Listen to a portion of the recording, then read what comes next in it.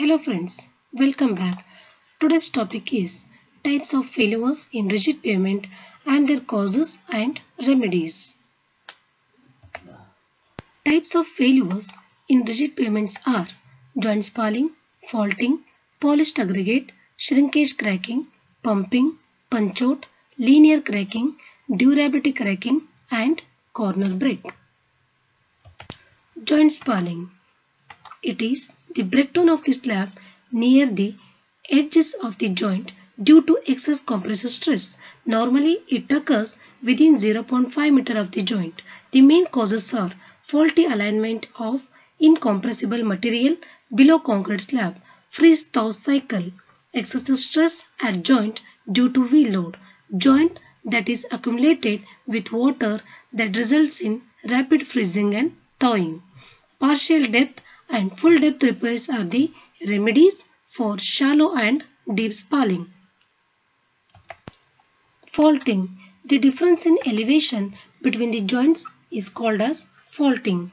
The causes are settlement of the pavement due to soft foundation, erosion of material under the pavement, curling of slab edges due to temperature and moisture changes and the remedies are diamond grinding is used to restore the pavement if faulting reaches 4 mm.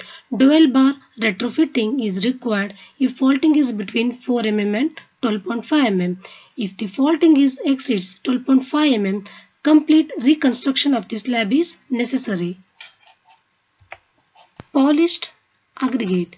Aggregate which comes above the surface of the cement paste with less angularity and roughness are said to be polished aggregates. The main causes are repeated traffic applications. The age of the pavement will influence polished aggregate.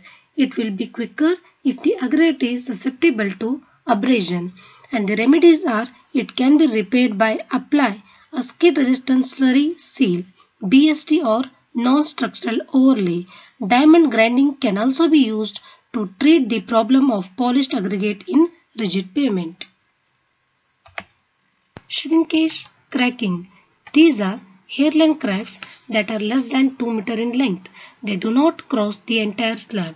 These cracks may form in longitudinal as well as in transverse direction. The main causes are improper setting and curing process of the concrete slab, higher evaporation of water due to higher temperature cracks, and the remedies are shrinkage cracks can be treated by means of crack seal if they are of moderate size. Synthetic resin is generally used as crack sealing and the entire slab replacement is used in severe situations. Pumping effect when material present below the road slab eject out through the joints or cracks is called as pumping. When soil slurry comes out it is called as mud pumping and the main causes are infiltration of water through the joints, cracks or edges of the pavement form soil slurry. Poor joint sealer allowing infiltration of water and repeated wheel loading causes erosion of underlying materials. When there is void space between slab and underlying base of the subgrade layer and the remedies are subgrade drainage should be improved. Fog seal or slurry sleeve may be applied to limit water filtration.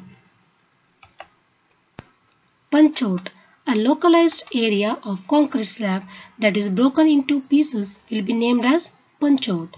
The causes are heavy repeated loads, inadequacy in slab thickness, the foundation support loss or the construction deficiency like honeycombing.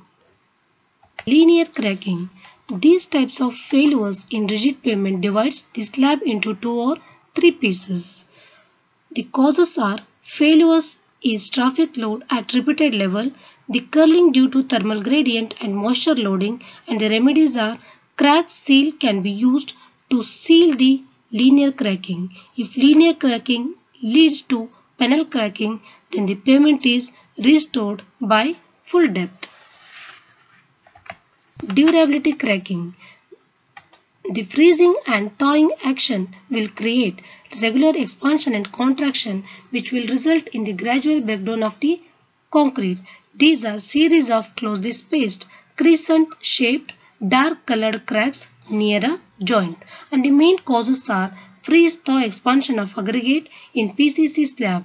Some roughness leads to spalling and eventual slab disintegration and the remedies are the affected pavement can be refurnished by partial depth or full depth repair.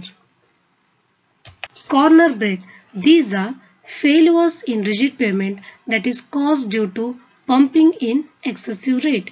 Causes of failure are when the pumping remove the underlying support, the corner crack are created and the remedies for corner crack is full slab replacement or the repair for the full depth must be carried out. Thank you.